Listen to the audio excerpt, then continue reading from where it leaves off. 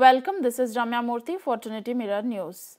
Minority Affairs Minister Mukhtar Abbas Naqvi said that there will be no subsidy for Hajj from this year. Naqvi told reporters that despite the subsidy withdrawal, a record number of 1.75 lakh Muslims will undertake the pilgrimage this year from India. Naqvi also said that the Saudi Arabian government has in principle agreed to allow Hajj journey from India by ships and officials of the, both the countries will sit together to finalize the modalities.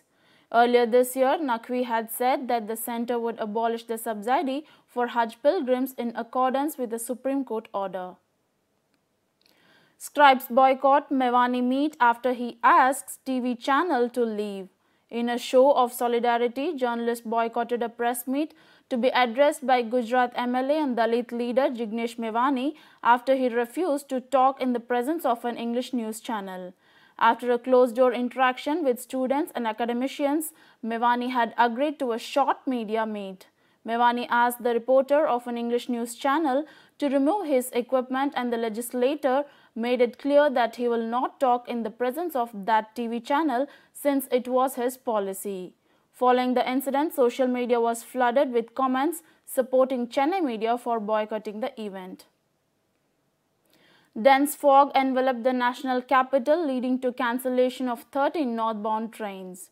The mercury also dropped to 5.6 degrees Celsius, two knots below the season's average. According to the Northern Railways, 13 trains had to be cancelled due to the poor visibility while 21 trains are running late. The timing of four trains was rescheduled owing to bad weather. At Safdarjung Observatory, visibility was recorded at 200 meters while the same recorded was 650 meters at Palam Observatory. According to Meteorological Department, the skies will remain clear throughout the day and the maximum temperature is expected to hover around 23 degrees Celsius. We'll resume back after a break. I'm ready போலாமா இப்படியே வா ம் கோவிலுக்கா எப்பவுமே ட்ரெடிஷ்னலா வேஷ்டி கட்டிட்டு தான் வரணும்.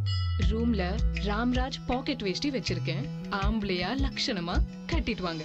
விண்மையில் தரிசனம் வேண்டுதல் நம் வசம். இது கோவில். ஓ சாரி செல்போனை வேஷ்டி பாக்கெட்ல வைங்க. வேண்டுதல மனசுல வைங்க. Ramraj Next Velcro Pocket Dhotis Temple Collections. Welcome back. Parents in trouble face difficulty in dropping children to schools amid drivers' strike. Parents and guardians encountered trouble when they were bound to drop their children to schools in Madhya Pradesh, Bhopal in the morning.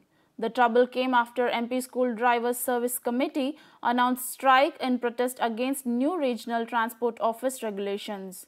In view of the problems faced by parents and students, several schools announced holiday. Major fire breaks out at a factory in Delhi's Udyog Nagar, 27 fire engines at the spot.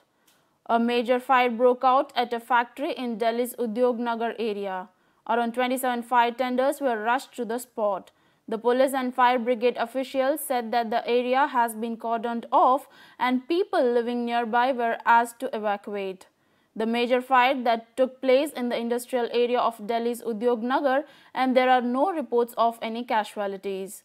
Most of the reports suggest that the fire had engulfed the entire factory and right now it could not be confirmed whether there was anyone inside the factory at the time of the incident.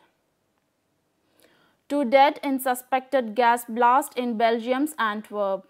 Police said that Belgian rescuers found two dead bodies at the site of a powerful suspected gas explosion in the port city of Antwerp that also injured 14 people.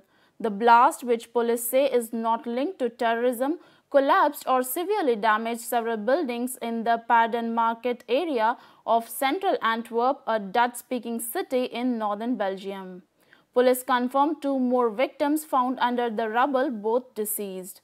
The victims have not yet been identified. Several people were pulled alive from the rubble on Monday night.